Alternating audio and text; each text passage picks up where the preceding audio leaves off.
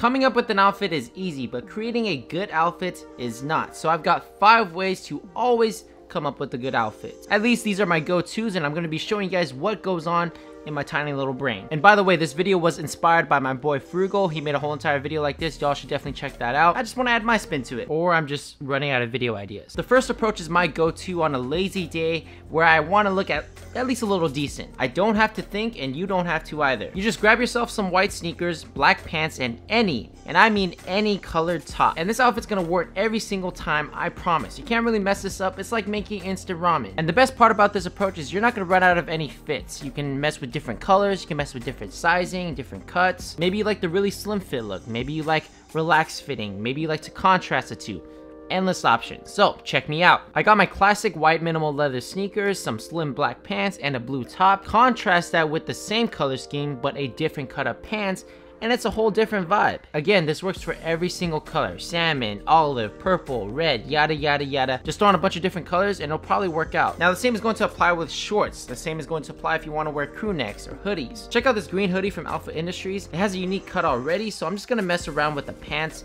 and throw on a different white sneaker. Maybe try on a hat this time to switch it up. You have so much options and this is my favorite technique. Plus it's going to get you more exposed to color because I know y'all like staying in the sad boy vibe. Now the next approach is all black black fits. Now you would think this is quite easy to do, but you can actually mess it up quite easily. So first up, get yourself a lint removing tool. Because my dog Ahsoka is a nightmare if I wear all black.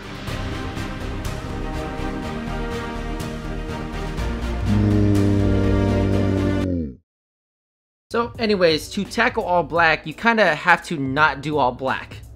Sounds kind of intuitive, I know. True all black means black accessories, black jewelry, black everything. But that just makes you look like a silhouette or you look very sus. You want to sprinkle a bit of color here and there. Utilize accessories like silver and gold jewelry, hats or beanies, and even colored sneakers. And then afterwards, you want to mess with different fabrics because cotton isn't the only fabric out there. Because you still got ripstop, tencel, bamboo, woven fabrics, ribbed fabrics, etc. These different fabrics will lead to different shades of black and texture, which will add separation within your outfits while keeping it with the all black theme. Cargo pants could also add some texture or jackets with different pockets, zippers, etc. Or I highly recommend doing this go for a very dark gray. That'll add even more separation. Just always think of it like any piece of technology that's all black. I got a camera right here from Sony. It has an all black unibody metal construction. It's contrasted with a rubber grip, ribbed knobs, and an orange ring around the lens mount. And you would still call this piece of technology all black, right?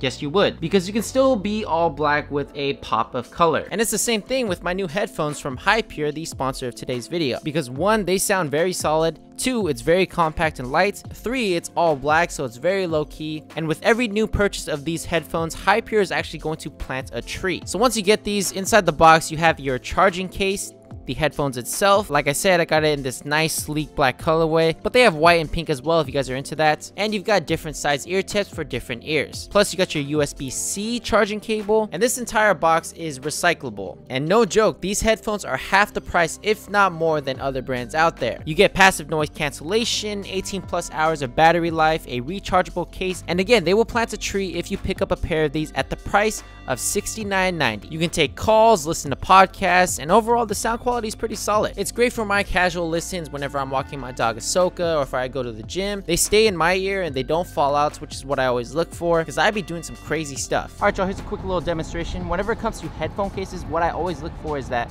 whenever you open the case, your headphones don't fall out. I've lost headphones that way and it's super annoying, but with these ones from Hypure, they don't fall out. You try as hard as you can, they won't fall out. And another thing I look out for is for the headphones to stay in my ear. No matter how hard I try, doesn't fall out and that is another way I've lost some headphones and this stays in my ear. I don't know about you, but I have some pretty weird shaped ears. That's why I love these headphones. And all these videos are now edited with these headphones. The charging case is light and compact, something that I really look out for, and it has a satisfying snap.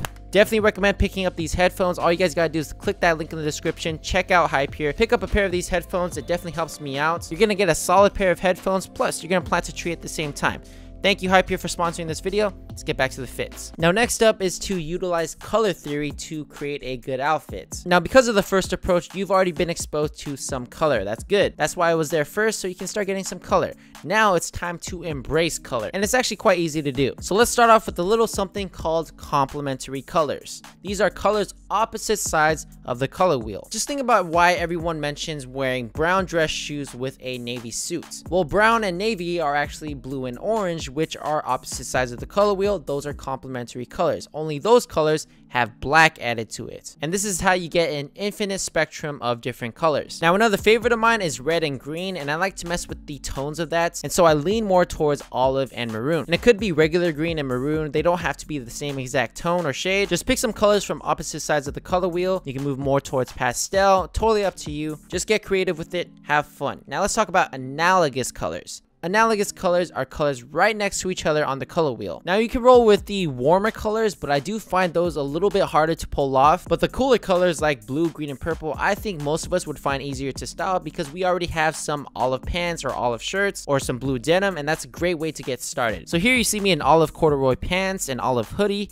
and a denim utility jacket. Those are analogous colors, blue and green, but I also use complementary colors by pairing it with these Air Force Ones that do have a pop of orange complementing the blue from the jacket. And eventually, the more that you do this, the more you'll start to find your type of color blocking method. Like for me, I'm surprised y'all let me get away with this for years. White sneakers, olive pants, black top, and an orange beanie. Plus, you also got monochromatic where you stick to the same color scheme, just with different shades. Or I also like the gradient method, which is where you stay in the grayscale spectrum of white and black, and both of those are great as well. Now, another outfit that always works is if you just lean into it. Whatever item it is, just grab that piece and ask yourself, what is the first thing that comes to mind when you look at that piece? Let's just say it's a technical jacket. Well, you've got athleisure and tech wear to embrace. So cargo pants are going to look great, you got boots and runners, sling bags, caps, and pouring water on yourself just so you can feel something. Now let's just say leather dress boots or Chelsea boots. The first thing I think about is more smart and casual vibes or the SLP look. So trousers, a dress shirt with some nice jewelry, or maybe slimmer pants with a slim fitting black jacket as well, and then a bunch of jewelry. Now what about a work jacket? Well, throw on some cargo, some boots, maybe a trucker hat, you got a workwear fit. Communities are built off different aesthetics. You can just look at the techwear clothing subreddits. There's a lot of dope fits there. And another way of leaning into it is embracing an already color blocked item. Check out these shorts from Aimé Leon Dore. You've got cream, bright green, and black. So I embrace that with the rest of my fits by throwing on a green cap, a cream shirt, and this Y3 bandana with the Nyjah 2s. It's just a fun way to be playful with an item while creating a pretty decent fit. And last but not least is my favorite approach contrast, pairing up items that shouldn't go together with each other. And some of the best fits have come about because of it. But fair warning, you're gonna have a lot of misses. Like just for example, Jerry Lorenzo's 7th collection. Who would have thought that sweats and an overcoat would look really good together? I mean, overcoats are normally seen on Wall Street dudes, while sweats are normally for just lounging and being lazy. The contrast between the two made for a pretty solid collection. Now, I personally like throwing on technical cargos with some smart button-up shirts, and this gives you a smart tech look that I really appreciate. I mean, you got the technical fashion, which is used for the outdoors, hiking, raining, and all that, while smart button-ups are just for the workplace. The two really shouldn't work out together, but somehow they do. Here's the ACG cargos paired up with this A-COLD-WALL button up and some converses or you've got these other ACG cargos paired with a technical tank for breathability and contrasting the rest of the fit with a button up from Uniqlo that has a mandarin collar. And I even finished this fit with some hiking sneakers. And somehow it works. The whole point of this is to get creative with it and have fun. And that's just what fashion is, man. You gotta have fun with it. You can't be sticking to your comfort zone all the time. Contrast makes fashion a lot more enjoyable and the most abnormal pairings tend to be the best ones. So go to your closet, try some of these techniques out, come up with some dope fits because I want to see them. You can share your fits with me by joining my Vibely community. This is a community where you can join and submit your fits for some feedback. You can join for some giveaways. If you guys haven't already, follow me on Instagram and TikTok at Fly with Johnny Thai. Definitely subscribe and give this video a thumbs up. Until then, stay fly. Check out Hypure. Deuces.